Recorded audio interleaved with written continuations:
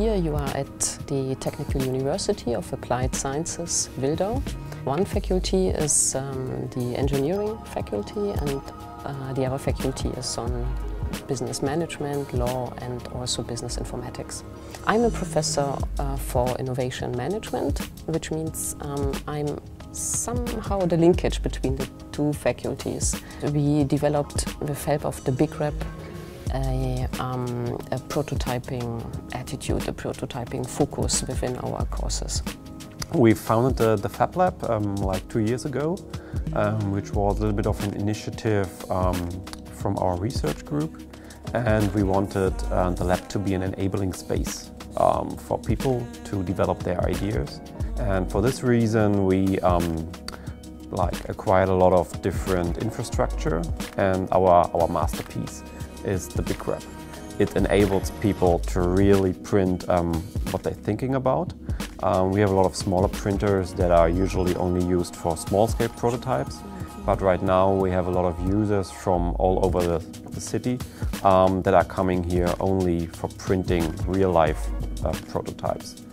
We had a use case last semester here with the engineering department and on this example you can see how the theory that students get taught here can be translated into practice. And the task was to create real-life prototypes um, with different functionalities. And, and, what they did is they used the Big Rep for creating a casing for this uh, gear. They used different machines like laser cutters too, but the Big Rep was the essential to finally um, get the idea into real life.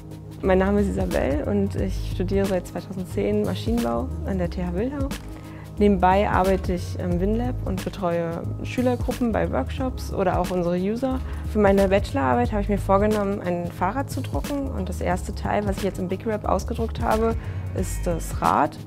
Ich benötige eben dann auch wirklich so einen großen Drucker, da das Fahrrad dann auch wirklich in Originalgröße äh, vor mir stehen soll.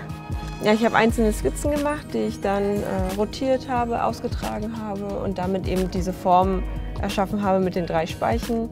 Ich habe versucht, möglichst äh, wenig Gewicht äh, zu haben. Ich habe es erst ähm, im CAD-Programm designt und dann mit einem Slicing-Programm bearbeitet. Und danach ging es wirklich nur noch zum Big Rap und dann nach zwölf Stunden war das äh, Rad ausgedruckt. The students start to think about future fields of application of 3D technology. They try to figure out what is the status of the technology right now, today, and what could be future fields of applications.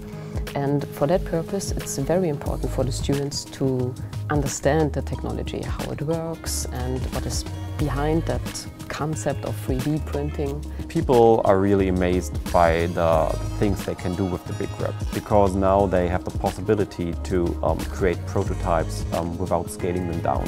So they can um, do prototypes in real life, which is an amazing opportunity for them.